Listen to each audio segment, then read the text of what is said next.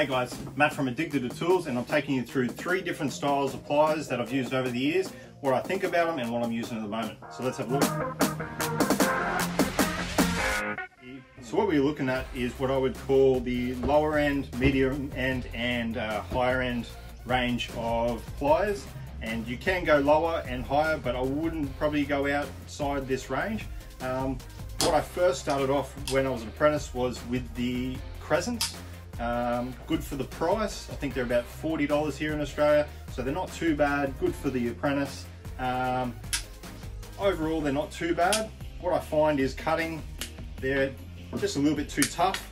Um, you do that every day for years on end, you're really gonna start to strain yourself and why should you really strain um, while working? Um, what you'll find is with these sort of pliers, you actually have, with the cutting, you have one side that's blunt, so it's actually flat, and the other side that's actually sharp. Um, and with these, the sharp side isn't that sharp. So that's why you're looking at a tougher cut. And um, But overall, the, the, handles are nice. Um, I don't like the glossy finish, I like the more matte finish. And But they do stay on, which is great. Um, overall, not too bad. I would probably give them a three, three out of five. So not too bad, but um, definitely only beginners sort of plier. Then we move up to the medium, which is basically your Channellocks. Um, I had Channellocks for the last 13 years. Um, absolutely loved them. Didn't think there was much wrong with them. I did find a few problems. The main one with the Channellocks is the gap at the end here. I'll take a, um, give you a close up of that. And basically what it is, is the ends don't touch. So I've found a few times where I've really tried to grab onto a cable and pull it, um, only little stuff, and it doesn't, like I can't even get a hold of it. So what I've had to do is grab someone else's pliers or some needle nose pliers, just anything else to hold onto it.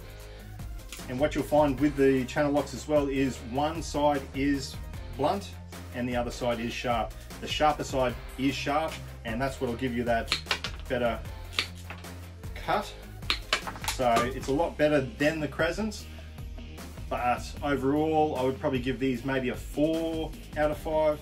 And but one of the other main problems is the actual handle itself. As you can see, I pulled off the handle. I've had these slip on me many times and throughout the day, I've had to bash them back on.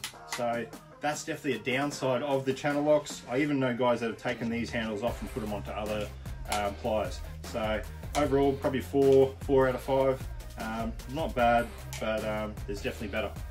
So now we move up to the higher end and you're looking at probably $85 I think I paid for these.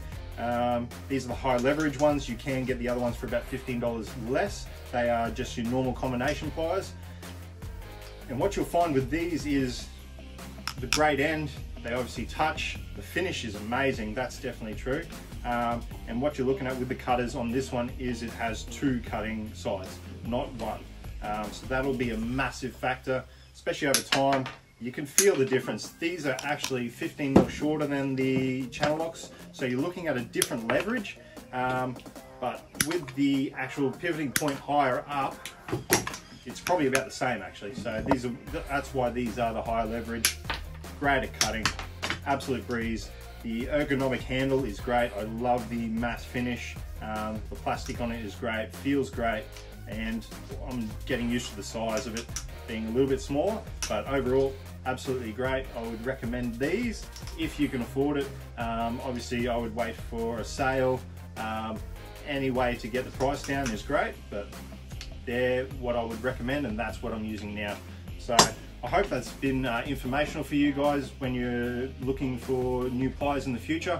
Definitely look at different ranges, different styles. There's a lot of other styles out there that I, I haven't used. So definitely let me know what you think of these pliers. Which ones do you like? Do you use the channels?